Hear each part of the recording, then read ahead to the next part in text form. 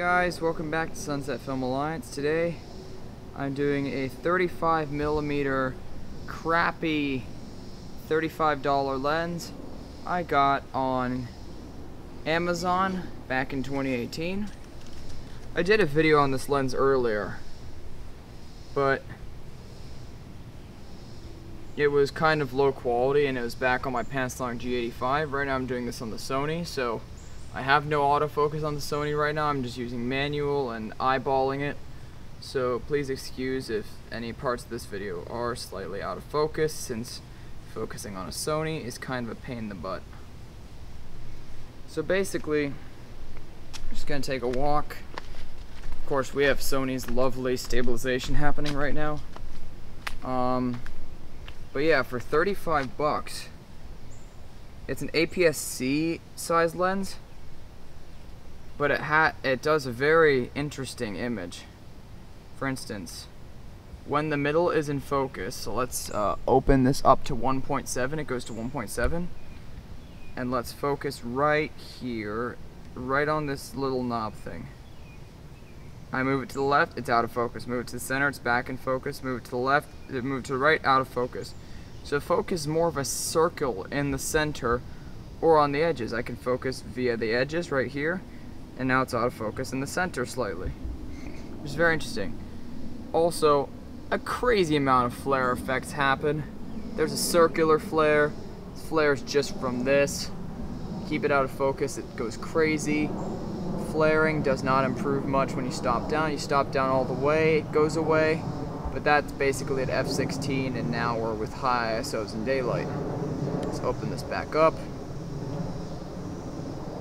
Yeah, look, you can be very cinematic. Right now I'm using a Kodak Gold picture profile that I uh, got off of another YouTube video. I'll show you the YouTube video in the description, so just check that out if you would like to shoot in this preset if you think it looks good.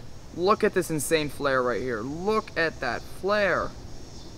No matter what focus I am at, the flare is just nuts. Wow. Oh, that's bright. Can I stop it down and improve it? Yeah, only if I stop down all the way. Stop down all the way, you can see the pattern of the aperture blades right here. You open it up, you get the crazy flare right here. So let's see if this crazy flare goes away. Yeah, it, it goes away at about, let's check, F8 but the markings on the lens are very imprecise.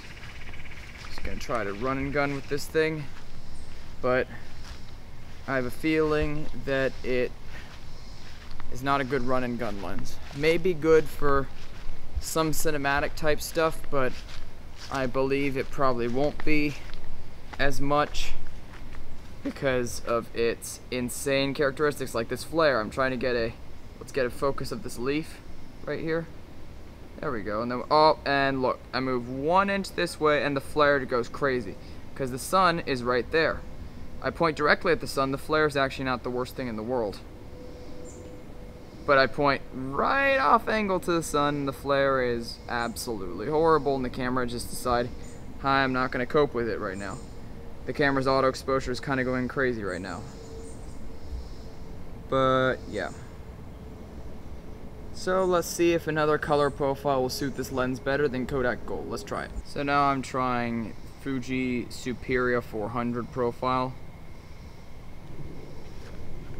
with this little crappy lens. It has an interesting effect. The colors are slightly different. They're not as close to real life as a cheap film would be, but they lead to an interesting look that some may find creative some may find just kind of crappy. Lens flares aren't the worst in overcast scenarios. I bet right is oh, the, but the purple fringing on this lens is horrible. Don't expect any coatings at all on this lens. Is it still sold on Amazon? Yes. It's uh, sold under many different names. Fotasy and several others. The one I have is Fotasy. Are they all made in the same factory? Probably. Are they all made by the same company? Yes. I'm sure they are. I'm sure they are. And it doesn't matter because copyright doesn't seem to really exist too much over in China. Or at least patent protection. Which I'm not sure if there are many patents for this lens. It may be based off a really old lens. So I'm opening and closing the aperture right here. This is fully closed down to f16 or at least it says f16. This is opening up to f4 I think. This is opening up to f1.7. I said before it uh, does cover an APS-C image circle. So on full frame, if I do not put it on APS-C mode, this is an A7R4, it looks like this. You can see the stabilization doing its job. Uh, the circle of the lens is slightly jittering around. If you like a weird look, you can actually see the focus mapping here better. On the very edges, you can see that it goes in focus and then out of focus. But this is unusable for full frame. So this is really an APS-C only lens, though you can use it on full frame cameras just in an APS-C mode if it has it. Or by cropping the video later when shooting in full frame mode, thus losing resolution. But yeah, that's about all I have to say about this lens, and the film profiles are very interesting. I hope you enjoyed this weird quick video. I'm sorry I'm not doing as many big videos as I said I would be doing, but that is simply because I'm working a lot at my job. I just simply work at a as a cashier at a pizza place. Uh, and yeah, if I could make money for movies, I would. Unfortunately, I can't, so I have to work a real job. So, hope you enjoyed the video. Please like, comment, subscribe. Uh, and thank you to all 10 of you, or maybe 5 of you who watched till the end. And have a good day, guys. Bye-bye.